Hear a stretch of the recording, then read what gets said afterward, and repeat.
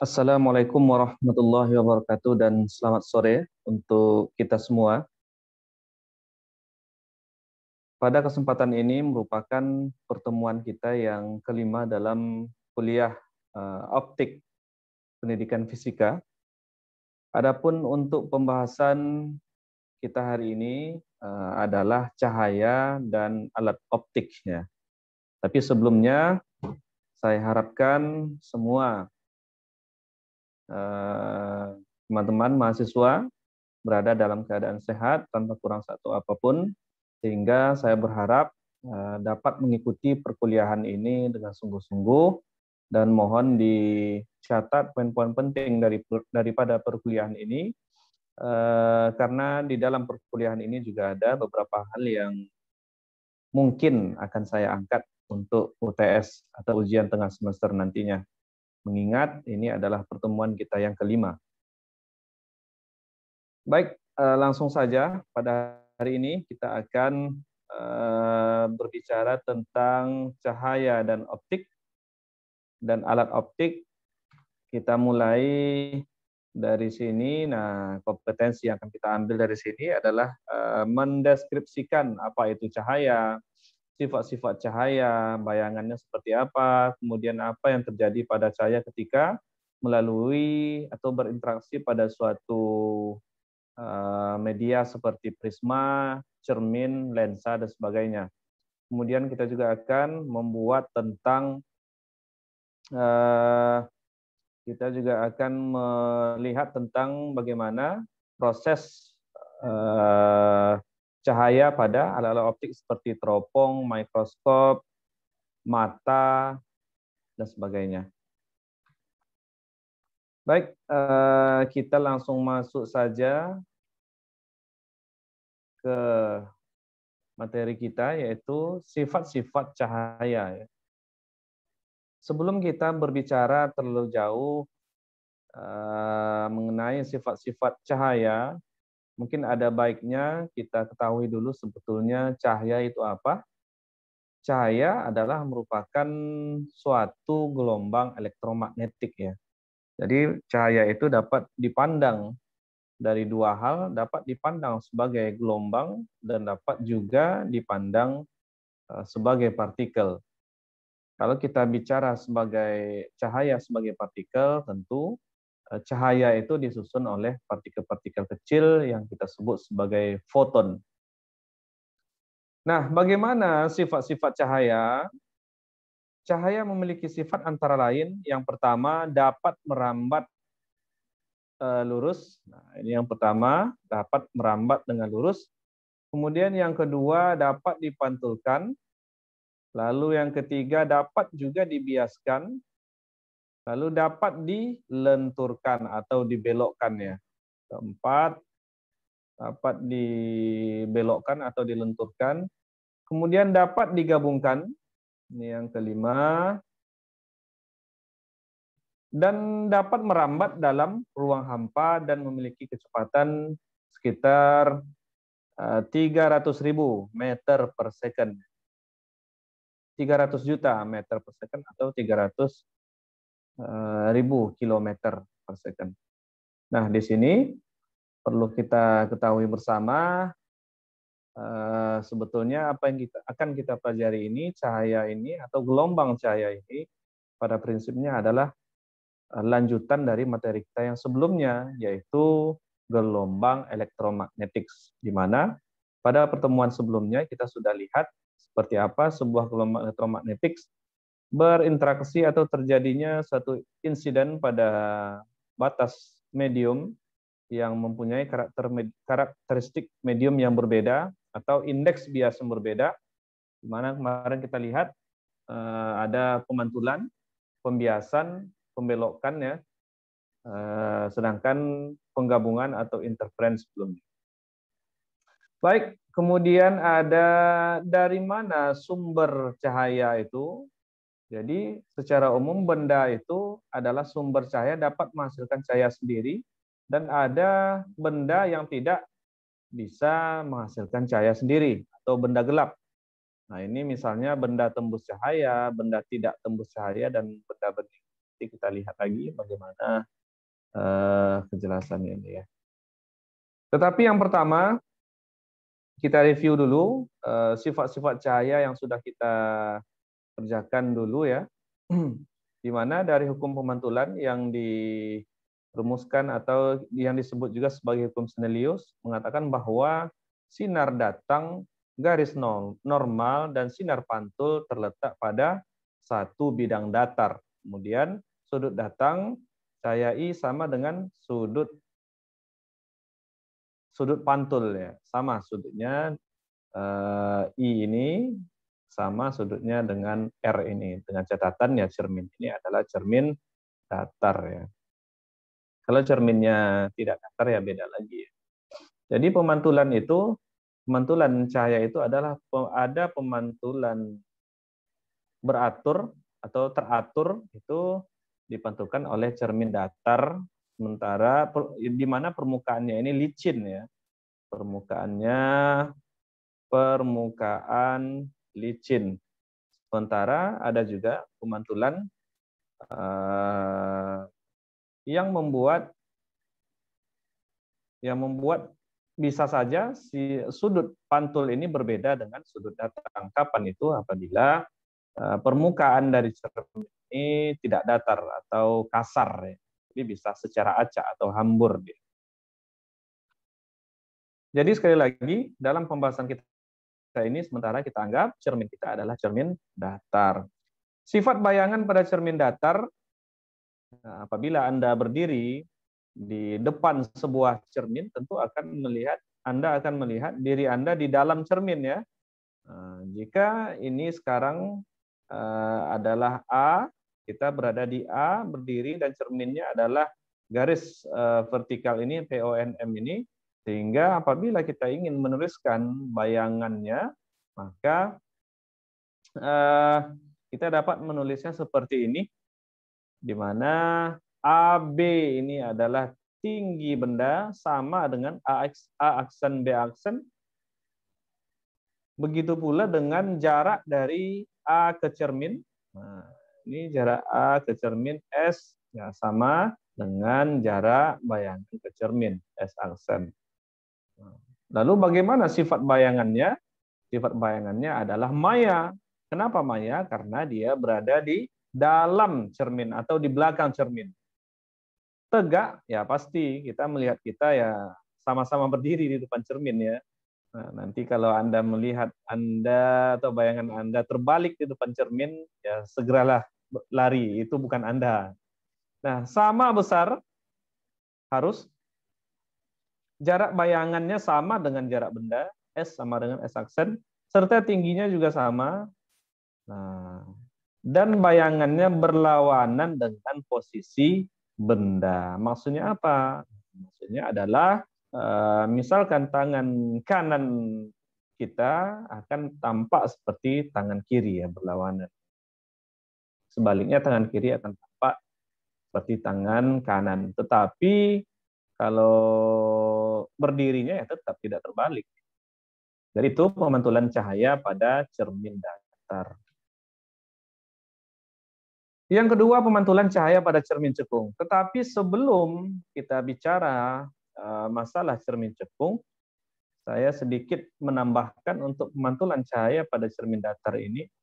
Mungkin kita pernah mengalami eh, ketika terdapat dua atau lebih cermin datar, maka akan bisa terjadi eh, pemantulan atau akan bisa terjadi eh, penggandaan bayangan.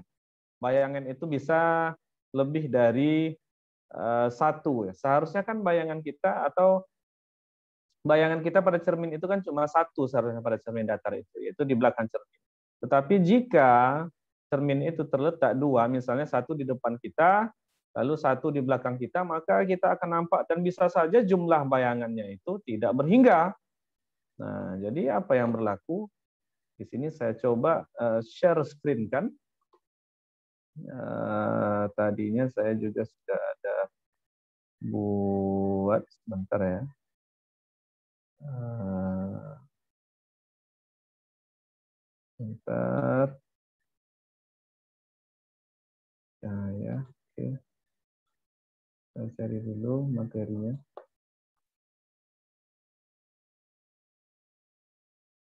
Bentar ya.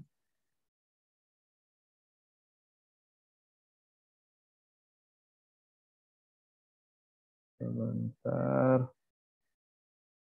Tadi sudah saya kuliah kelima.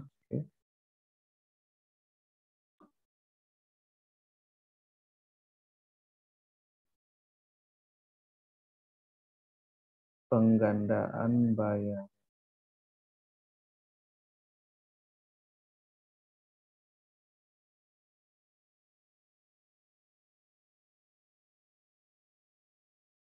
Baik, eh, pada satu kasus, jadi sekali lagi saya sambung ini, pada satu kasus di mana apabila terdapat dua buah cermin yang disusun sedemikian rupa, sehingga sudut pada sudut tertentu maka bayangannya akan terbentuk.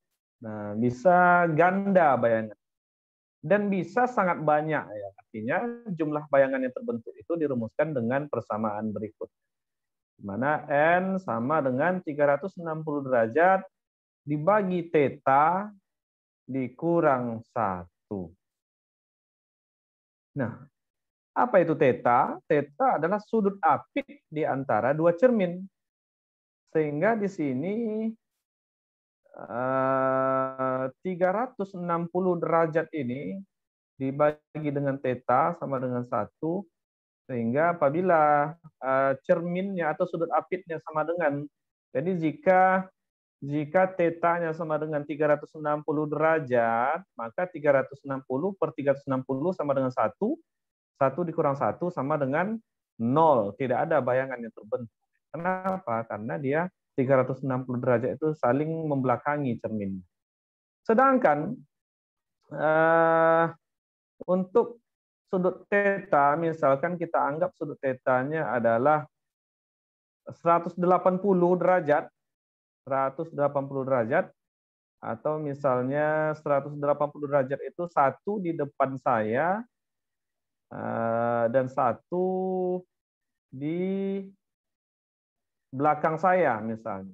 Otomatis N-nya yang akan terbentuk sama dengan 360 dibagi 180 adalah dua kurang satu bayangannya cuma satu ya. Sedangkan apabila kita buat n-nya 90 derajat, sorry theta-nya 90, maka kita akan peroleh bayangan sebanyak sama dengan tiga. Artinya apabila theta semakin kecil, n-nya sangat kecil, maka sorry theta sama sama eh, sangat kecil apa yang terjadi? Maka N sama dengan 360 360 derajat dibagi sesuatu yang sangat kecil, nah, N yang sangat kecil dikurang satu, maka ini ya bayangannya akan semakin banyak dan bisa saja ini jumlah bayangan yang terbentuk adalah tak berhingga. Kapan? Ketika theta mendekati nol. Kalau dia mendekati nol kan 360 dibagi nol kan tak berhingga ya, tak berhingga dikurang satu masih tidak berhingga. Jadi seperti itu. Itu adalah untuk uh, special case atau kasus khusus penggandaan atau bayangan ganda ya atau bayangan yang jumlahnya sangat banyak yang dihasilkan oleh susunan dari cermin datar. Baik, saya kembali lagi ke materi kita tadi. tadi kita sampai di uh, cermin datar. Oke. Okay. Sekarang kita masuk ke cermin cekung. Jadi pemantulan cahaya pada cermin cekung itu coba Anda bayangkan ketika Anda memegang sebuah eh, katakanlah misalkan sendok. Sendok kalau yang paling bagus itu adalah sendok untuk bikin bakwan itu ya acuan bakwan itu ya. Nah di mana dia sempurna bulatnya. Apa yang akan terjadi biasanya saya kebetulan saya pernah melihat saya bercermin di sendok itu, saya melihat terbalik posisi saya. Terbalik ya. Itu itu yang saya tahu cuma itu ya. Dari pengalaman saya melihat. Nah, sekarang kita pelajari apa-apa saja yang berlaku yang pertama, apabila ada cermin cekung, anggap ini adalah uh, sebuah cermin yang saya garis merah ini sekarang. Lalu sebelah kiri ini, sebelah kiri ini, sebelah uh, ruang satu, dua dan tiga ini, ini sebelah kiri, ini adalah di depan cermin, sedangkan ruang empat ini adalah di belakang cermin. Itu yang pertama. Kemudian, nah kita kalau dia uh, kalau dia berbentuk cekung, otomatis akan ada titik fokusnya atau jari-jarinya, jari-jari cermin. Jari-jari cermin itu disebut sebagai R ya. Artinya R di sini, jarak R di sini, jari-jari itu sama dengan Sekali lagi, R sama dengan 2 dikali fokus. Apabila kita lihat dari gambar ini, eh, R adalah 2 dikali panjang fokus. Ya. Nah, itu. Di mana jarak dari titik 0 atau titik O ini ke F ini adalah ruang 1, jarak dari titik F ke P adalah ruang 2, dan eh, jarak sebelah kiri dari eh, P ini adalah ruang 3. Sedangkan ruang yang di belakang ini adalah jadi eh, itu yang penting. Nanti kita akan lihat seperti apa sifat-sifat. Baik, ini adalah yang pertama, sifat atau sinar-sinar istimewa pada cermin cekung. Yang pertama adalah ketika cahaya datang, jadi ini cahaya datang, kita anggap di sini sumber cahayanya misalnya, maka sinar datang sejajar dengan sumbu utama. Mana sumbu utama? Sumbu utama adalah garis, nah ini. Ini adalah sumbu utama. Garis eh, yang berhimpitan dengan titik PF ini ya. Atau kalau pada gambar kita tadi, garis SU ini adalah sumbu utama. SUO ini adalah sumbu utama ya. Jadi eh, ini kan sejajar dengan sumbu utama. Sekali lagi, sinar yang datang sejajar sumbu utama dipantulkan melalui titik fokus. Nah, dia datang sejarah sumber utama dipantulkan melalui titik fokus. Nah, seperti ini. Kena titik fokusnya di sini. Itu yang pertama. Sebaliknya yang kedua, sinar yang datang yang melalui titik fokus, lagi sinar yang datang melalui titik fokus, nah ini seperti ini, melalui titik fokus mengenai cermin akan dipantulkan sejajar dengan sumbu utama. Artinya apa? Artinya ini adalah kebalikan dari sinar yang pertama. Sedangkan yang ketiga, yang ketiga adalah sinar yang datang sejajar atau sinar yang datang eh, melalui pusat kelengkungan cermin. Nah, jadi P ini adalah pusat cermin. Tadi eh, jarak P ke titik O ini kan adalah dari jari ya, sehingga P ini adalah pusatnya pusat kelengkungan cermin kita sebut kadang-kadang seperti itu. Maka sinar yang melalui titik tersebut akan dipantulkan melalui itu juga. Nah, ini datang lalu dipantulkan melalui itu juga. Itu yang ketiga. Sehingga apabila kita ingin menggambarkan eh, satu benda, misalnya suatu benda itu terletak pada A, ingat A ini adalah ruang satu tadi ya. A ini adalah ruang satu benda ini di depan cermin. Maka bagaimana cara kita menulisnya? Melukis bayangannya. Cara kita melukis bayangannya adalah yang pertama sinar datang sejajar sumbu utama yang hitam ini yang ada panahnya dipantulkan dipantulkan melalui titik fokus. Ini sinar satu tadi ya. Tetapi ini seolah-olahnya nah dia akan ke belakang cermin. Nah, artinya perpanjangan dari sinar satu ini ke belakang cermin. Itu yang pertama. Yang kedua, sinar yang datang melalui titik pusat cermin, titik P ini, nah ini akan juga dipantulkan melalui titik itu juga. Berarti ini tadi sinar yang ketiga. Nah, tetapi perpanjangannya juga akan ke belakang cermin. Perpotongan perpanjangan tersebut di sini adalah letak bayangan A. Ini tadi ruang berapa? Adalah ruang 4. Nah, sehingga uh, ini akan ada tinggi bendanya, tinggi bayangannya, H aksen, dan ini ada tinggi bendanya H, lalu jarak bendanya ini adalah S ke sini, sedangkan jarak dari sini ke sini adalah S aksen. Sehingga kita bisa rumuskan dari sini eh, satu per F sama dengan 1 per S ditambah 1 per S aksen. Jadi itu jarak fokusnya hubungannya.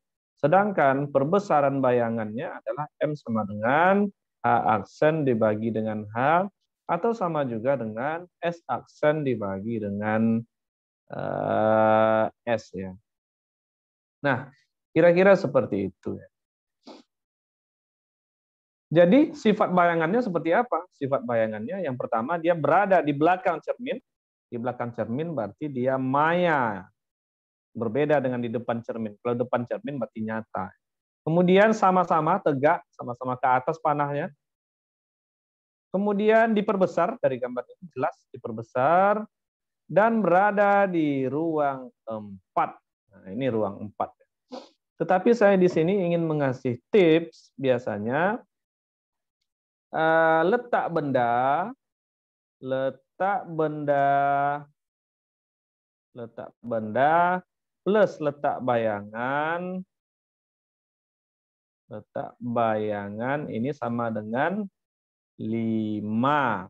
Artinya jika bendanya di ruang satu maka eh, letak bayangannya pasti di ruang 4. Kalau letak bendanya di ruang 2, pasti letak bayangannya di ruang 3. Jika bendanya berada di ruang tiga, maka letak bayangannya pasti di ruang dua. Nah, seperti itu. Ini yang saya barusan saya sampaikan, bagaimana jika benda berada di ruang dua, ingat ini di ruang dua ya, ini ruang satu, ini ruang tiga, dan ini sebelah kanan ada ruang empat. Jika bendanya di ruang dua, maka, nah ingat, tadi nggak kita pakai yang pertama sinar datang sejajar sumbu utama dipantulkan melalui fokus sinar datang melalui fokus dipantulkan melalui sejajar sumbu utama. Perpotongannya adalah bayangan. Sehingga sifat cerminnya apa? Maaf sifat bayangannya apa? Sifat bayangannya yang pertama adalah nyata. Ini berada di depan cermin karena berada di sebelah kiri kecuali di sebelah kanan maya atau sebelah kiri nyata ya depan cermin lalu terbalik terbalik, kemudian diperbesar. Diperbesar. Nah, jadi itu. Sekali lagi, kalau dia di ruang dua bendanya, maka dia pasti terbalik dan diperbesar serta nyata. Kebalikan dengan ruang tiga. Kalau ruang tiga, bendanya sama-sama nyata di depan cermin, bayangannya juga. Dan juga terbalik, tetapi dia diperkecil. Nah, bedanya di situ saja. Di ruang dua dan ruang tiga itu bedanya hanyalah diperkecil dan diperbesar. Kalau di ruang dua dia diperbesar, kalau di ruang dua, kalau di ruang tiga dia diperkecil. Lalu kapan dia akan sama besarnya? Dia akan sama besar uh, apabila dia berada tepat pada tepat pada jari-jari kelengkungan cermin. Atau di 2F ya, letaknya titik pas di titik P. Nah, maka sifat bayangannya akan nyata, terbalik, dan sama besar. Lalu, bagaimana jika bendanya terletak di titik fokus? Ini kan di titik P ya. Kalau di titik fokus, tepat di titik fokus apa yang terjadi? Maka eh, bayangan akan terletak bayangannya akan nyata, tetapi nah ini sangat jauh di sangat jauh tidak berhingga di depan cerminnya. Ya, tentu tidak akan terlihat. Tidak ada perpotongannya. Garis P, garis uh, ini, garis yang saya buat ini dengan saya garis yang buat ini tidak akan pernah berpotongan ketika bendanya berada tepat di titik fokus. Kalau ada pertanyaan di mana letak bayangan yang paling besar, otomatis letak bayangan yang paling besar adalah di titik yang sangat di titik di ruang dua, di ruang dua, ingat di ruang dua, yang jaraknya sangat dekat dengan F ya. Maka itu bayangan yang terbentuk akan sangat besar, nyata, dan terbalik. Sebaliknya, eh, kapan suatu bayangan itu pada cermin cekung itu sangat kecil dan terbalik dan nyata adalah ketika benda berada di ruang tiga yang sangat jauh di ruang tiga. Sangat jauh dia dari titik pusat itu ya. Artinya di ruang di ujung ruang tiga sana. Sehingga bayangan yang terbentuk akan nyata, terbalik, dan sangat kecil. Uh, jadi rumus-rumus yang berlaku ya ini sama-sama sudah kita, kita ketahui bersama. Tadi sudah saya buat juga eh, satu per S O plus satu per SI sama dengan per F. Nah, ingat tadi apa? Hubungannya F sama dengan 2F sama dengan R. Jari-jari kelengkungan cermin. Atau bisa juga uh, apa F ini sama dengan R per 2. Maka seper F dapat kita ganti dengan 2 per R. Nah, inilah 2 per R. R adalah jari-jari kelengkungan cermin. Sekarang yang ketiga, pemantulan cahaya pada cermin cembung. Jadi tadi sudah pada cermin cekung, sekarang kita lihat pada cermin cembung ya. Masih sama, sumbu utama adalah sumbu horizontal ini, SU sumbu utama, garis yang menghubungkan SU, O, F, dan P. Ini adalah sumbu utama. Namun, yang terbalik adalah ruang yang berada di depan cermin, ini depan cermin sekarang ya, depan cermin yang menghadap yang sebelah kiri cermin ini adalah depan cermin. Adalah ruang 4 sementara ruang 1, 2 dan 3 berada di belakang cermin. Nah, di mana jarak fokusnya sama seperti tadi, F-nya dan R-nya di sini jarak ke titik P di mana 2F sama dengan R. Jadi sekarang bagian yang cembungnya itu yang berhadapan dengan bendanya yang berada di tempat. Artinya apa? Semua benda pada cermin cembung ini, semua benda, nah, semua benda itu akan terletak di depan cermin di depan cermin cembungnya pas sama sama ya, tidak mungkin bendanya berada di dalam. Tetapi bayangannya juga semua bayangan pada cermin cembung ini juga terletak di dalam cermin atau semua bayangannya akan bersifat maya. Nah, dari mana kita tahu Pak? Apabila kalian lihat misalnya cermin ya.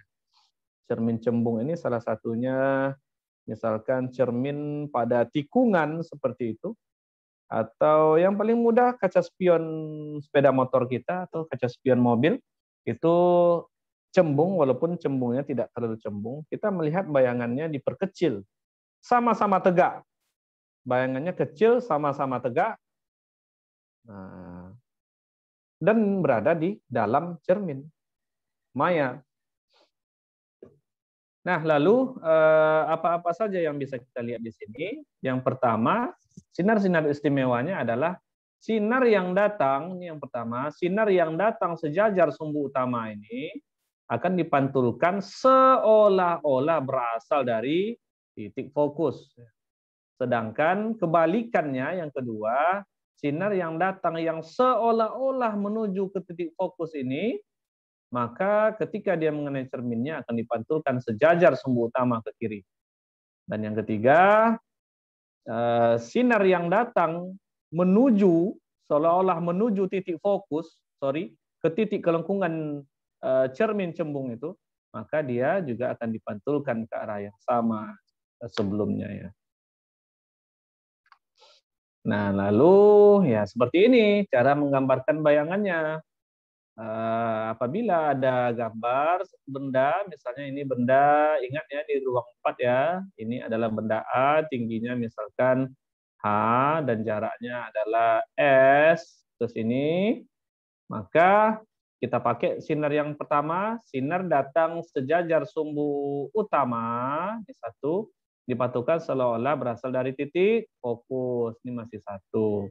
Kemudian sinar yang seolah-olah menuju ke titik kelengkungan cermin titik P dipantulkan ke sana lagi. Ini sinar yang ketiga tadi ya. Nah, pantulannya juga tiga. Sehingga perpotongan titik ini adalah merupakan bayangan yang terbentuk H aksen.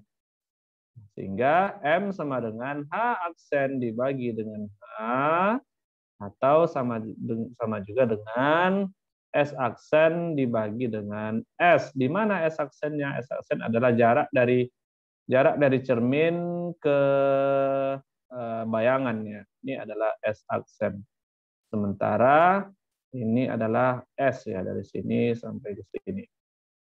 Jadi sama, masih berlaku yang tadi seper S plus seper S aksen sama dengan 1 per F atau sama dengan 2 per R. Seperti itu. Ingat semua bayangan yang terbentuk adalah maya di belakang, kemudian sama-sama tegak, diperkecil dan berada di ya terserah ruang 1, 2, 3, dan 4 ya. Nah, bisa ya. Yang jelas dia sama-sama tegak diperkecil. Oke, rumusnya ini sudah kita lihat tadi ya, rumusannya sama dengan cermin cekung. Baik, selanjutnya kita uh, masuk kepada pembiasan cahaya. Jadi hukum pembiasan itu uh, hukum pembiasan ini kemarin merupakan uh, persamaan Fresnel ya yang kita lihat ya yaitu sinar datang, sinar bias, dan garis normal terletak pada satu bidang datar. Nah, ini adalah hukum pembiasan. Ini adalah satu bidang, satu bidang kertas misalnya. Lalu perbandingan antara proyeksi sinar datang dan proyeksi sinar bias, nah selalu tetap perbandingannya itu selalu tetap. Tetapan ini disebut sebagai indeks bias. Jadi sekali lagi indeks bias itu nilainya adalah konstan. Konstan. Nah, kita lihat perumusannya apa-apa saja yang kita uh, lihat. Di sini apabila kita lihat apabila sinar datang dari udara lalu melalui uh, kaca paralel misalnya, maka dia akan semakin mendekati garis normal. Garis normalnya adalah garis yang vertikal, garis N ini. Ini adalah sudut datang theta I. Ini adalah sudut bias theta R, theta T ya, sudut bias ya, theta transmisi. Nah, kemudian ini dibiaskan lagi dari kaca paralel ke udara lagi. Ini theta 2 ya.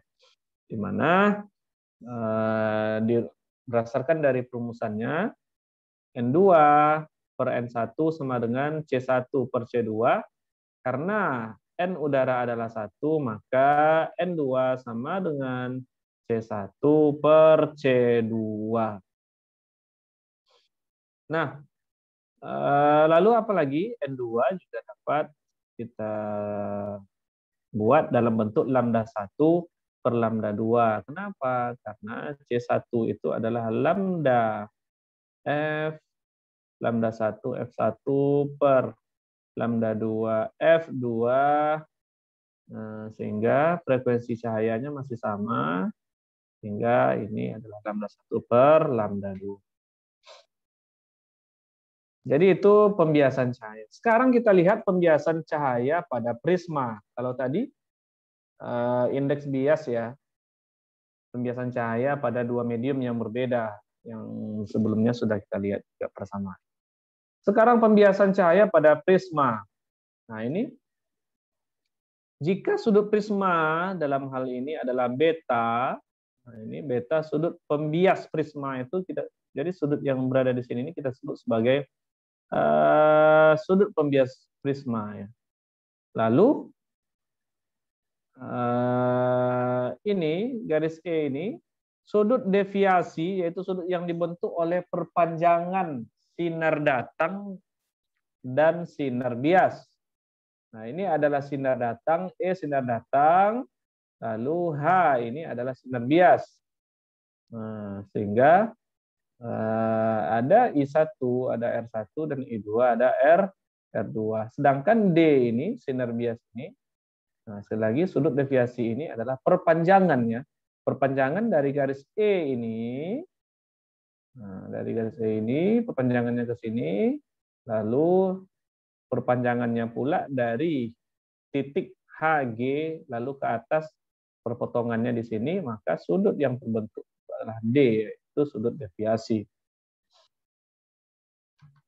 Nah, pemantulan sempurna pada prisma. Jadi kapan terjadi pemantulan prisma? Uh, sifatnya adalah yang pertama apabila prisma mengenai uh, apabila cahaya mengenai tepat pada bidang miring daripada prisma itu dengan sudut uh, katakanlah sudut di sini yang terbentuk adalah sudut 45 derajat sini juga 45 derajat maka di sini akan 90 derajat nah sama uh, Artinya apa ini? Sudut datang sebenarnya tegak lurus dengan prisma juga akan dipantulkan tegak lurus keluar C di sini.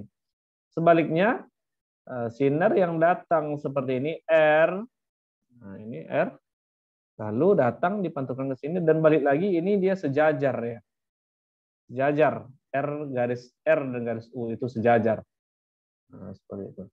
Lalu ada dispersi cahaya pada prisma. Apa itu dispersi? Dispersi itu adalah uh, penguraiannya, diuraikan cahaya itu di mana apabila kita berikan suatu cahaya polikromatik kepada prisma, ingat cahaya polikromatik itu contohnya adalah cahaya putih.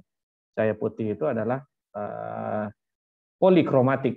Nah, maka dia akan diuraikan, didispersikan sehingga apabila kita letakkan sebuah layar di sini, ini layar, jadi atau layar, maka akan terurai eh, akan terbentuk cahaya merah, jingga, kuning, hijau, biru, dan ungu seperti cahaya pelangi.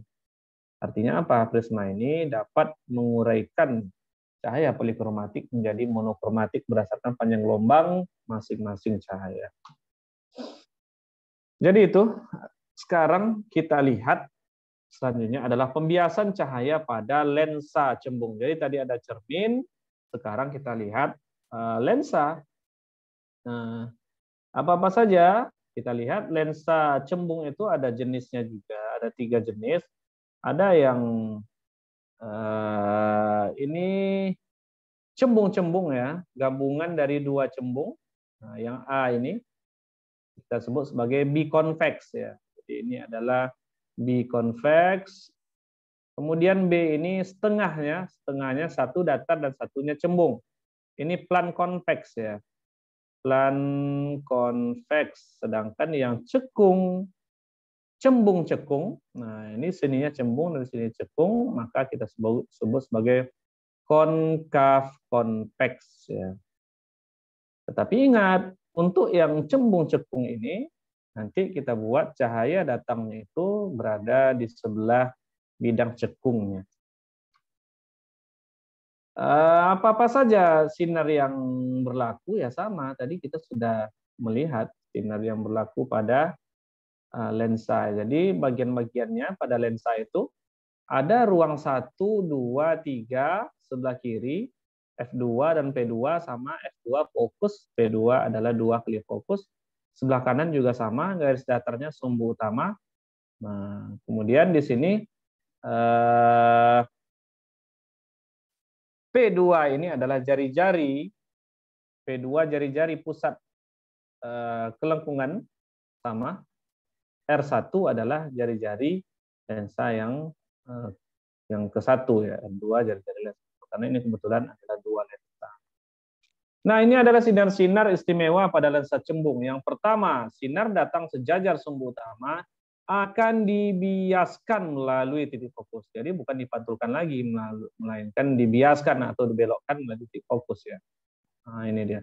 Yang kedua, sinar yang datang melalui titik fokus. Nah, ini sebelah kiri. Yang kedua, satu, dua, akan dibiaskan sejajar sumbu utama. Jadi dia ini sejajar dengan sumbu utama.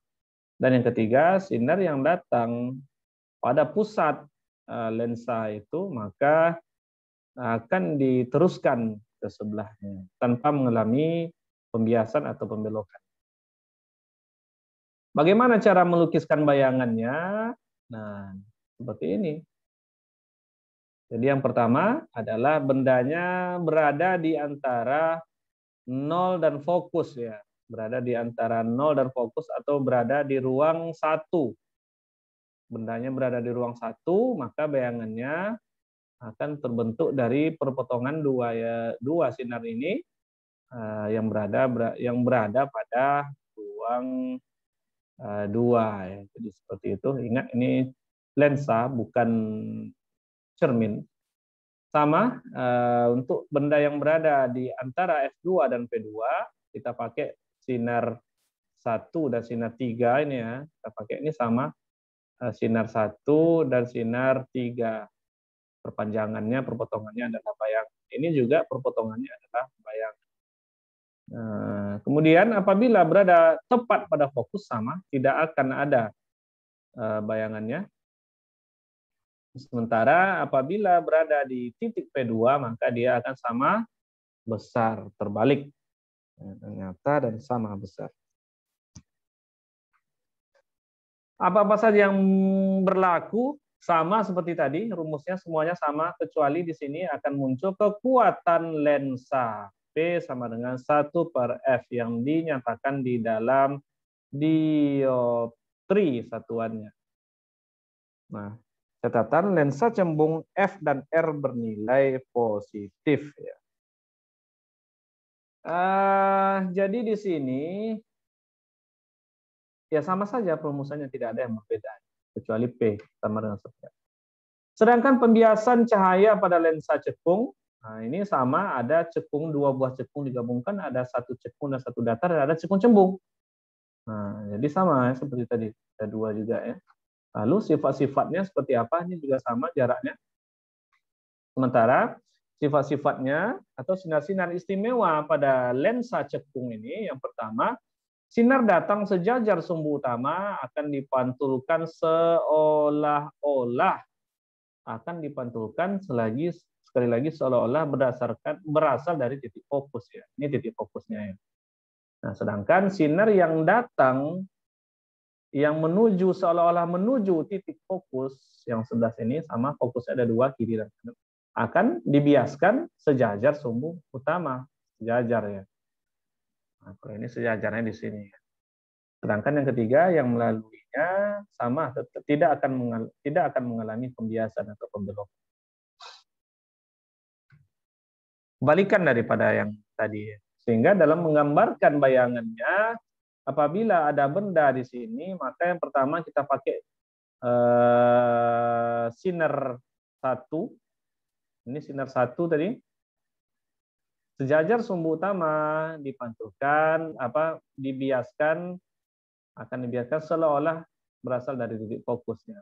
Ini dibiaskannya ke sini dan seolah-olah itu adalah garis putus-putus ini yang dari F1 ini. Kemudian kita pakai sinar yang Eh, ke sinar yang kedua bisa juga sebetulnya. Sinar yang datang yang seolah-olah menuju titik fokus akan dibiaskan sejajar sumbu utama. Nah, ini dia. sejajar dengan sumbu utama dan perpanjangannya ke kiri perpotongannya akan di sini juga sama dengan sinar yang ketiga. Sinar yang ketiga, sinar yang datang menuju ke titik pusat ini akan diteruskan. Nah, maka perpotongannya ini merupakan bayangan. Jadi sifat bayangan pada lensa cekung adalah maya, tegak, diperkecil, dan berada di ruang satu, misalnya seperti itu. Jadi harus bisa kita menggambarkan eh, sifat-sifat bayangan, harus hafal dan harus paham semuanya. Sifat bayangan pada cermin datar, cermin cekung, dan cermin cembung. Kemudian sifat bayangan pada lensa cekung, lensa cembung.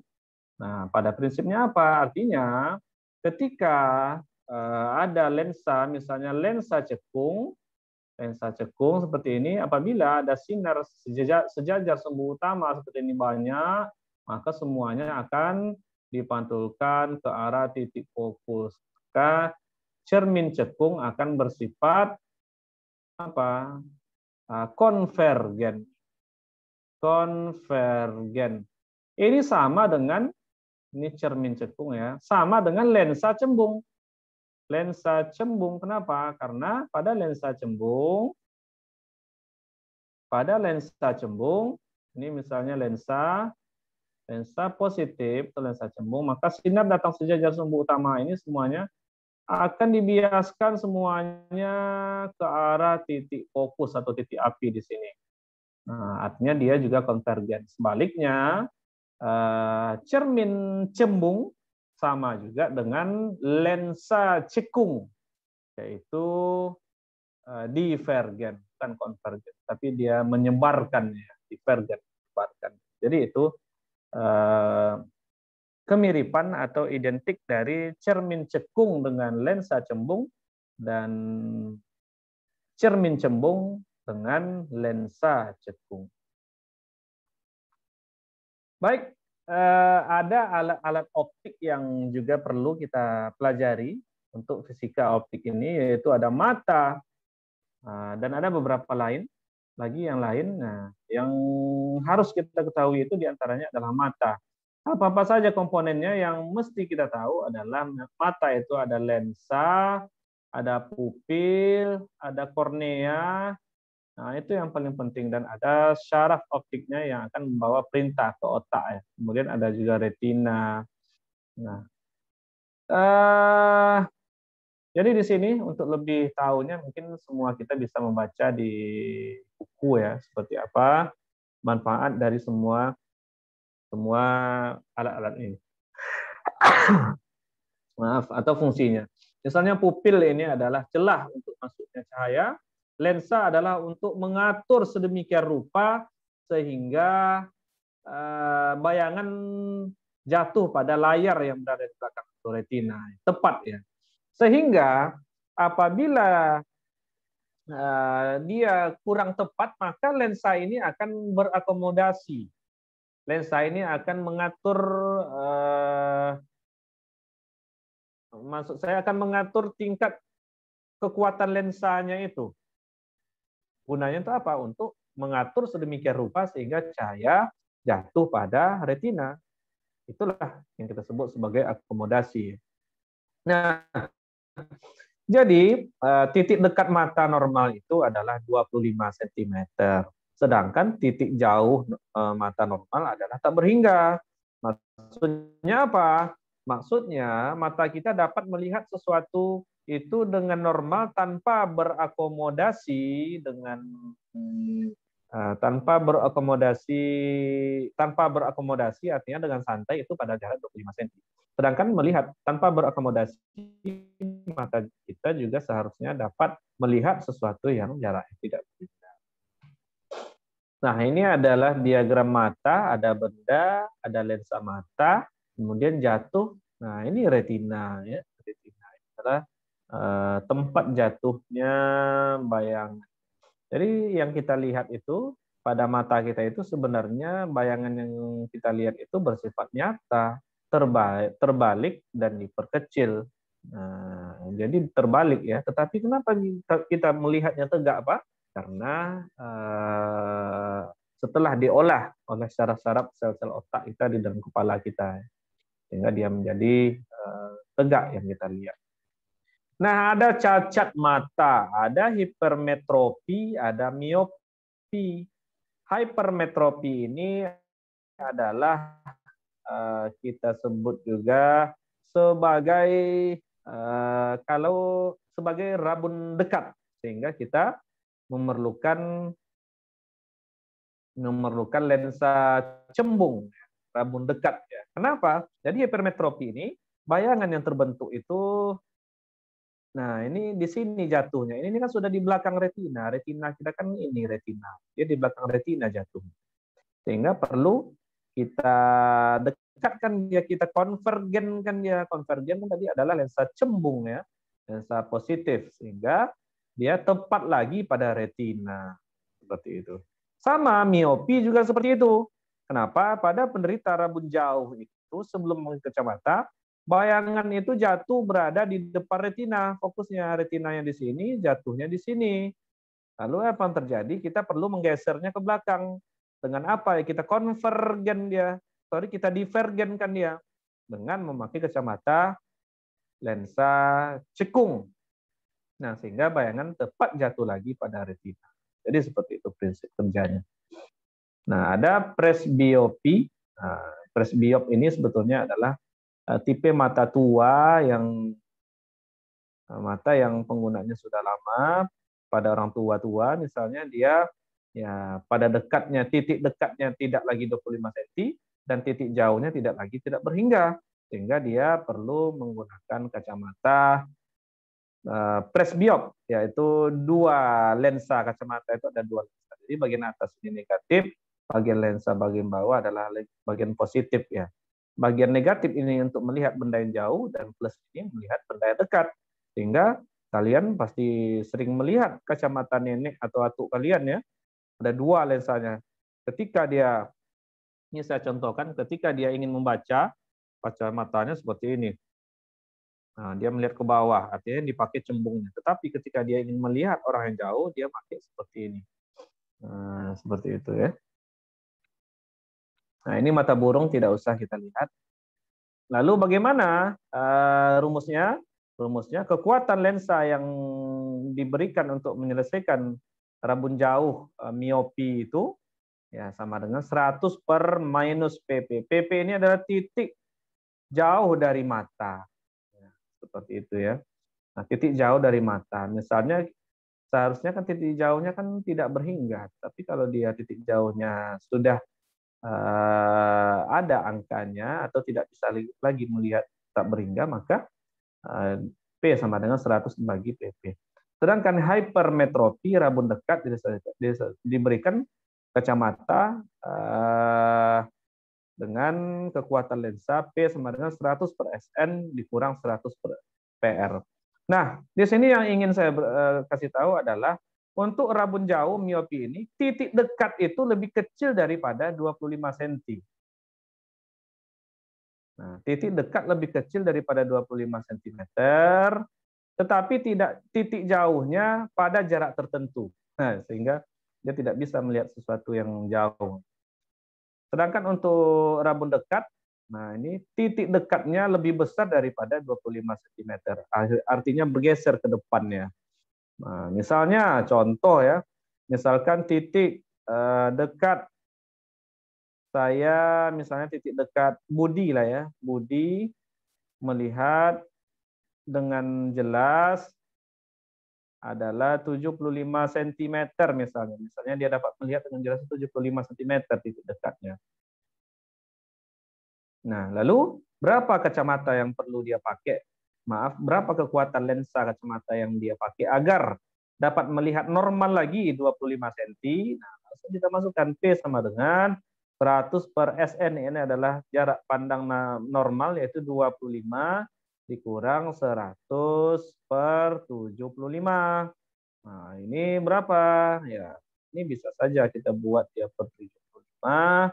Maka ini 100 ini kita kali 3. 300 dikurang 100 sama dengan 200 per 75.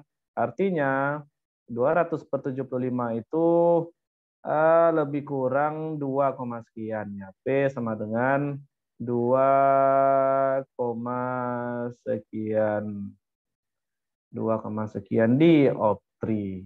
Ini adalah kekuatan lensa yang harus dipakainya agar dia dapat membaca dengan normal lagi pada jarak 25 cm.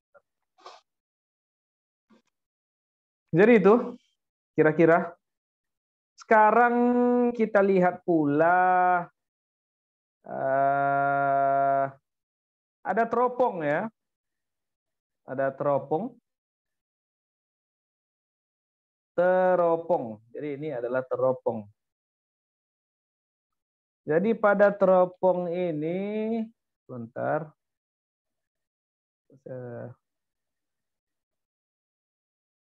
Nah, pada teropong atau teleskop ini, Eh, sebuah teleskop itu terdiri atas dua buah lensa. Ya. Ada lensa objektif.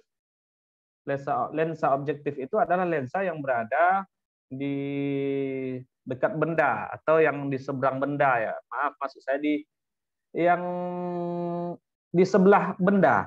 Artinya apa? Apabila sekarang ini, ini teropong, ini benda, maka lensa yang berada di sini adalah lensa objektif. Sementara lensa yang berada di sini, sini yang tempat saya melihat seperti ini, maka yang dekat mata saya ini adalah lensa uh, okuler ya, f okuler.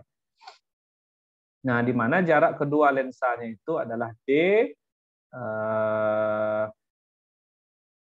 kemudian jarak fokusnya juga ada seperti ini. Nah, lalu ini jika ada suatu contoh seperti ini, ini langsung ke contoh saja ya. Uh, maka pertanyaannya misalkan jarak lensa objektif dan lensa okuler dari mikroskop tersebut adalah yang ditanya D. Ya, berapa jarak D ini? Ketika ini 2 cm, 1,8, ini 6 cm dan apa maka dapat kita selesaikan dengan menggunakan rumus uh, dasar kita sama untuk teropong untuk apa sama rumusnya 1 per L sama dengan 1 per S plus 1 per S aksen. Nah, kemudian apa lagi? Dari sini kita memperoleh S aksen ya. Nah, S aksen sama dengan 18, maka D-nya sama dengan FOK plus S aksen S aksen ya. Sama dengan FOK tadi sudah ada 6 plus 18 dengan 24 cm. Jadi sekali lagi eh, FOK itu sama dengan S aksen ditambah FOK itu adalah D. Ini adalah FOK Nah, sekali lagi ini maaf jarak dari sini ke sini FOK dan jarak dari sini ke sini adalah S absen. Kenapa? Karena S-nya sekarang berada di sini. Kemudian mikroskop untuk melihat perbesaran mikroskop. Nah, jika Anda ingin melihat perbesaran mikroskop, maka uh, dapat digunakan persamaan ini. Sama mikroskop juga terdiri atas dua lensa, yaitu ada lensa objektif dan ada lensa okuler ya. Ada lensa objektif dan ada lensa okuler. Nah, eh, gunanya ya kalian tahu ya, mikroskop ini gunanya untuk melihat benda-benda kecil. Artinya kita memperbesar sebesar mungkin benda kecil itu agar nampak terlihat dengan jelas ya. Sehingga di sini ada dua persamaan yaitu ada persamaan untuk mata berakomodasi maksimum, artinya mata kita kita akomodasikan untuk melihatnya. Tetapi tanpa berakomodasi, santai saja kita melihatnya di lensa okuler itu, maka rumusnya seperti ini. M sama dengan S aksen OB per SOB plus dikali SN per FOK. SN ini apa? SN ini adalah jarak dekat mata pengamat. Dari berapa senti kita lihat ya mata kita ke okuler itu bisa saja 2 cm, 3 cm. Sedangkan untuk berakomodasi maksimum, nah, kita pakai rumus ini. M sama dengan S aksen OB per SOB, SN per FOK plus 1. Seperti itu.